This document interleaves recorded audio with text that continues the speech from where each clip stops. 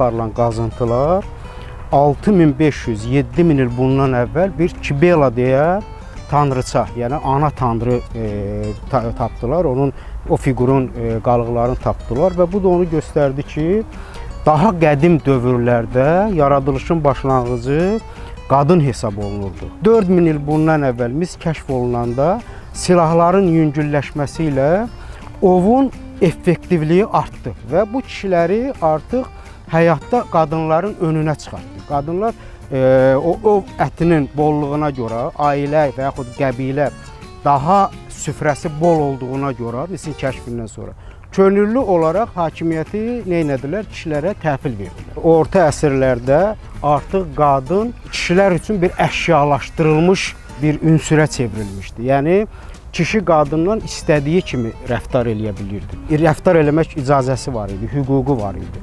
Xüsusilə məsələn tutaq ki, artıq o müqəddəslik anlayışının kişi kultunun üzərinə gəlməsi ə, e, müqəddəs kişilərin qadınlardan uzaq durmasına gətirib çıxartmışdı. Yəni qadınların şeytanla, iblislə eyniləşdirilməsi prosesi e, adiləşmişdi orta əsrlərdə. Məsələn tutaq ki, şərqdə e, sufilər onlar düşünürdülər ki, Allaha gedən yolda, Tanrıya o fənafillah yolunda ən böyük maneələrdən biri sufi üçün qadın.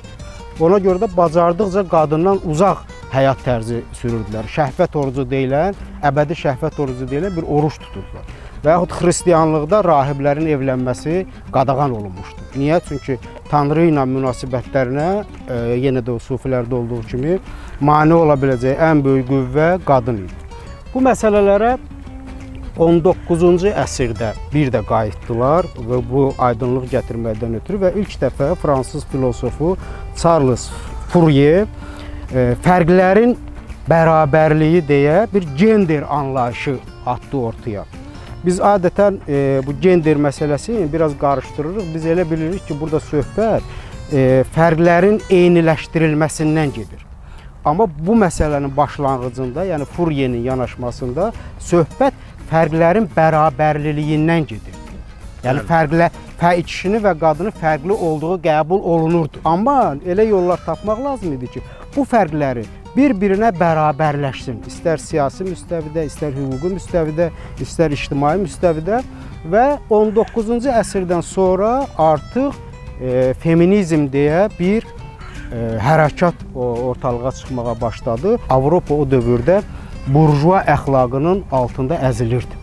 Təxminən modernizmin yarandığı bir çağdı o çağ və e, xüsusilə İngiltərədə Viktoriya dönəmi deyilən, hə, dönəmi deyilən bir dönəm var idi ki, e, hakimiyyət, siyasi hakimiyyət e, kraliça Viktoriya özündən xüsusi əxlaq qaydaları e, yaratmışdı və bunu sərt şəkildə tətbiq olunmasına şəxsən özü nəzarət edirdi. Bizim əlimizdə olan ən yaxşı yəqin mənbələrdən biri Virginia Woolfun kitablarıdır. Xüsusilə bir kitabı özünə aid bir otaq. Orada nədən söhbət gedir? Kişi mərkəzçi, bütün sənət mühitinin içərisində, intellektual, e, humanitar fikrin içərisində kişilərin üstünlük təşkil etdiyi bir dünyada sual qoyur ki, bəs bu tarixən qadınların yeri necə olub və indi necə, əvvəl necə olmalıdır? Deyir ki, gəl belə təsəvvür eləyək ki, əgər Şekspirlə eyni istedadda eyni intellektual bacarıqda, eyni dövrdə onun Judith adlı bir bacısı olsaydı, o bu kişilərin üstün olduğu, hegemon olduğu dünyada eyni dərəcədə uğur qazana bilərdimi? Və başlayır sadalamağa ki, niyə uğur qazana bilməzdi? Çünki ictimai münasibətlərdə e, kişilərlə o qədər davamlı münasibətdə ola bilməyəcəkdi. Səyahət etmək lazım olsa, səyahət edə bilməyəcəkdi. Lazımı belə deyim, mənbələrə üst tutmaq lazım olsa, orada mütləq axsayacaqdı. Onları əldə edə bilməyəcəkdi. Və beləliklə məlum olur ki, əslində tarixi deməli bir hissəsinə baxılmayıb tarixin biz ancaq indiyə qədər baxmışıq kişilər yazdığı, kişi gözündən oxunan tərəfinə. Ancaq sanki onun bir ikinci yarısı var, o tərəfi baxılmayıb. O tərəf həmişə üstündən keçdiyimiz tərəfdir. 20-ci əsrdə artıq feminist hərəkətlərlə, yeni humanitar ə, tədqiqatlarla belə bir anlayış, ə, ictimai cinsiyyət, yəni gender dediyimiz anlayış ortaya atılır. Bu fərq də nədən ibarətdir? Əslində çox sadədir e, bizim hamımızın pasportunda cinsiyyət göstəriləndə kişi, qadın yazılır. İngilislərdə o cinsiyyət sözünün yerinə seks yazılır. E, bir də e, sosial humanitar fikirdə gender anlayışı gəlir. Yəni biri sənin bioloji, fizioloji anadan necə doğulduğunu göstərən, biri də hansı mühitin içərisinə doğulub, hansı konstruksiyalar içərisində böyüyüb, necə formalaşdığını göstərən cinsiyyət. 19-cu əsrin əvvəllərində Avropada ə, başlayan bu gender bərabərliyi məsələsi, mövzusu 20-ci əsrin əvvəllərində sözsüz ki, Azərbaycana da gəlib çıxdı və Azərbaycanda o dövrdə ilk dəfə ə, Şərqi Rus qəzetində, Tiflisdə nəşr olunan Şərqi Rus qəzetində Məhəmməd ağa Şahtaxtinski mütəmadi olaraq qadın haqq və hüquqlarından məqalələr yazmağa başladı. Təxminən eyni dövrdə, yəni 1901-ci ildə xeyriyyətçi e, Hacı Zeynalabdin Tağıyev e, istər çar e, Rusiya, Rus çarına, istərsə də İslam şeyxlərinə müxtəlif hədiyyələr göndərib Bakıda qız məktəbinin açılmasına nail olmuşdu.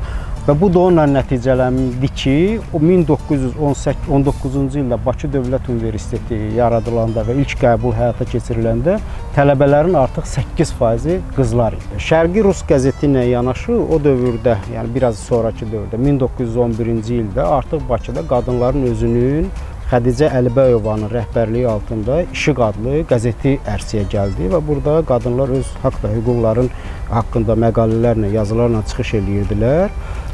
Sözsüz ki, biz indi haqqında danışdığımız və ADA Universitetinin çox tirajlı kitablar şəklində nəşr nəşr elədiyi Cümhuriyyətin rəsmi orqanı Azərbaycan qəzeti də bu mövzuya geniş yer ayırırdı. Xüsusilə Şəfiqə Əfəndizadə adlı qadın müəllif demək olar ki, qəzetin hər nömrəsində qadınların haqq və hüquqları haqqında yazılarla çıxış eləyirdilər. Çox maraqlıdır. O dövrdə maraqlı bir e, şərqə xas olmayan bir hadisə baş vermişdi Bakıda. 1916-cı ilin fevral ayında o dövrdə 1-ci Dünya müharibəsi ərəfəsində düşür bu hadisə. E, 1-ci Dünya müharibəsi ərəfəsində Bakıda qıtlıq, ərzaq qıtlığı ucbatından qadınların üsyanı e, baş vermişdi. Bu təxminən ona oxşuyurdu ki, eyni səbəbdən 1789-cu ildə də Fransada eyni üsyan baş vermişdi və bu üsyan qadınların uşaqlarına ərzaq e, tapıb vermək üstündə belə deyək başladıkları o Fransadakı üsyan böyüyüb böyük Fransa inqilabı ilə nəticələnmişdi. Bu inqilabın nəticəsi nə olmuşdu? Bu inqilabın nəticəsi feminizmin, o dediyimiz feminizm hərəkatının yaranması və feodalizmin tarixin arxivinə göndərilməsi olmuşdu. Yəni feodalizm çağını tarixə göndərən güc qadınların gücü idi. Azərbaycan qəzetinin 1918-ci il noyabr nömrəsində e, Səlim Sirri adlı bir müəllifin qadın haqqı deyə bir yazısı çap olunmuşdu və o yazıda Azərbaycan qadınlarını, şərq qadınlarını öz kimliklərini, öz şərqli kimliklərini qərb dəyərlərinə, qərbin o artıq siyasiləşmiş feminizm e, prinsiplərinə, o hərəkatın prinsiplərinə güzəştə getməməyə çağırırdı. Çünki 1918-ci ildə e, liberal feminizmi Azərbaycana gətirən kişilər idi. Cümhuriyyəti quran kişilər idi. Onlar Azərbaycan qadınına 1918-ci ildə seçmək hüququ vermişdilər Bu həm də Azərbaycan qadınının seçilmək hüququ idi. Bu hüququ Avropalılar, məsələn, İngiltərə öz qadınlarına 1928-ci ildə verdi. Azərbaycandan 10 il sonra. Portuqaliya və İspaniya 1931-ci ildə verdi. E, İsveçrə 1970-ci illərdə verdi. Yəni 18-ci ildə Azərbaycan kişilərinin Cümhuriyyəti quran kişilərin öz qadınlarına, Azərbaycan qadınları verdiyi haqq və hüquqları Avropa xalqları, Avropa dövlətləri onlardan 10 il sonra başlayaraq ardıcıllıqla tanımağa başladılar. Ona görə də Səlim Sirri bu azadlığı, bu Avropa qadınından əvvəl Azərbaycan qadına verilmiş azadlığı doğru düzgün anlamaq üçün bax bu belə bir məqalə yazmışdı. İndi sən e, deyəndə mənim yadıma düşür, doğrudan o Azərbaycan qəzetinin 1918 noyabr nömrəsində mənim diqqətimi çəkən bir müəllif oldu. Əbdüllətif imzası ilə yazan. Deməli, Türkiyədə qadınlar feminizm məqalənin adı belədir. Orada Türkiyədəki qadınların ictimai həyatdakı aktivləşməyi ilə bağlı çox maraqlı faktlar yazır.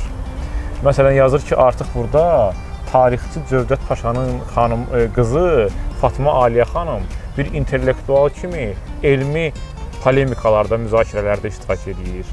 Yaxud ilk romançı qadınlarından misal alan Xalidə Edib Adıvarın adını çəkir.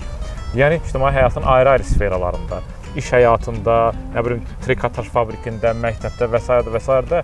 qadın aktivliyi, qadın faizinin artmağından danışır və bu nümunəni biraz da sanki müqayisə üçün və e, nümunə üçün həm də örnək kimi göstərir ki, bax belə-belə hərəkətlər baş verib. Tarixdə Gender adlı məşhur kitabın müəllifi Vizna Hanks ki, bununla bağlı lap antik dövrdən bu günə qədər genderin bütün problematikasını yazmış məşhur mütəxəssisdir. O məsələn maraqlı yazır ki, öz kitabında bunun tarixi ilə bağlı deyir ki, tutalım e, genderlə bağlı danışanda məşhur bəzi tarixi e, arayışlara müraciət etmək lazımdır. Belə ki, məsələn 19-cu əsrdə olan Amerikada olan bir qadını götürək.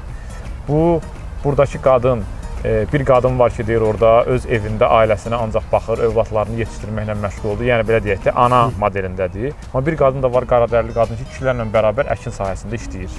Hə? Burada axı deməli eyni qadından e, eyni e, bioloji mənada eyni olsa da, ictimai mənada fərqli qadından danışırıq. Yaxud Əgər deyiriksə ki, qadınlar ancaq sentimental, romantik məxluqlardır, intellekt ancaq kişiyə məxsusdur, onda ağıllı olan İngiltərənin kraliçası İngiltərənin kraliçası Yelizaveta kimi intellektual qadınları hara qoyuruq? Simone de Beauvoir elə o, o da feminist yazarlardan biri idi. Onun bir sözü var idi ki, qadın dünyaya qadın kimi doğulmur. Qadını Sonradan qadın eləyən cəmiyyət. Həyat yoldaşı Sartrın mövcudluq mahiyyətdən əvvəl gəlir deyilən eksistensial tezisini ikinci cins kitabında qadınlara aid eləmişdi də. Belə deyir. Cümlə təxminən belə bir cümlədən istifadə edir ki, deyir, indiyə qədər qadın kişinin təyin etdiyi idi. Yəni kişi mərkəzli dünyanın təyin etdiyi qadın obrazı nə idisə o idi.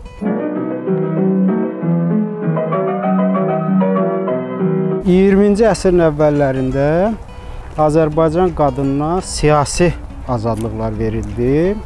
Bu gün isə, yəni 21-ci əsrin əvvəlləridir, Azərbaycan qadını artıq özünün iqtisadi azadlıq mühitini formalaşdırmaqla məşğuldur və bu mühitin formalaşmasında yenə də o e, Cümhuriyyət dövründə Azərbaycan qəzetində təbliğ olunan dəyərlərə söykənirlər. Məsələn 1918-ci il parlamenti parlamenti e, belə bir işçi məsələsi deyə qanun qəbul olunmuşdu və orada Bir e, bənd belə idi. Sağlamlığa zərərli işlərdə qadınlar işləməməlidir.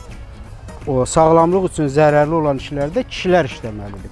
Bu bir şərq kültüründən gələn dəyərdir. Yəni bu şərq ənənəsi bu gün də e, Azərbaycan qadınının mövqeyini qoruyur. Bir Margaret Atwood, Kanadalı yazıçı Booker mükafatı laureatı, onun deməli kultlaşmış bir e, feminist anti-utopiya romanı var. İngiliscədə Handmaid's Tale-dir adı. Türklər onu damazlıq qızın hekayəsi, qulluqçunun hekayəsi belə tərcümə etmək olar adını. Elə bir ki, fantastik bir e, anti-utopik bir gələcəkdən söhbət gedir ki, burada hərbi dini bir e, deməli hakimiyyət gəlib Amerikada hakimiyyəti ələ keçirdib və gələn kimi qadınların sən dediyini iqtisadi, iqtisadi qadınların birinci bank hesabında dondurublar. Eynən bizim dastanlarda falanlarda deməli o ağ çadır, qara çadır və s. olduğu kimi bu romanda da qadınları paltarlarına görə kateqoriyalara bölürlər.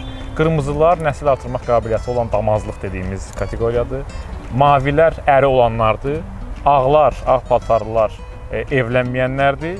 Bir də qəhvəyi paltarlı bunlara nəzarət edən belə deyək ki, daha onlardan yaşlı qadınlar var ki, onlara belə də e, yön verirlər. Və burada maraqlı Ed Edward e, maraqlı bir fənddən istifadə edir. Qadınların heç birinin adı yoxdur. Onların hamısının adı öz ərlərinin adıdır. Yəni sən Edwardın ki, sən, nə bilim Donaldın ki, sən, sən Johnun-kusan. Öz adın yoxdur. Bundan da nəyi demək istəyir? Əslində bizim demək istədiyimizin bəlkə də bütün finalı budur bu söhbətdə nə? Qadın ictimai müqəvva deyil.